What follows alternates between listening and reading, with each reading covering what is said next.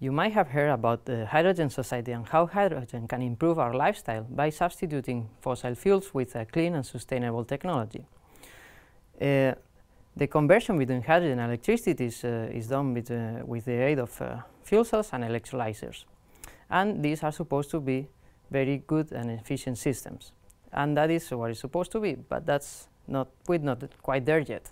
And why is that? Because these systems, these technologies have important issues, issues that deal with the cost of the electrode materials, for instance, the efficiency of the devices, and the durability of the devices themselves.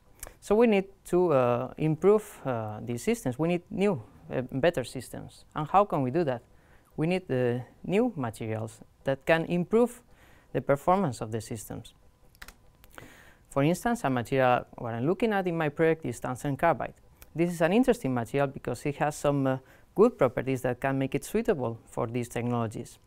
And what I'm working on is in the development and testing of tungsten carbide-based materials for, for fuel cells and electrolysis. Thank you very much.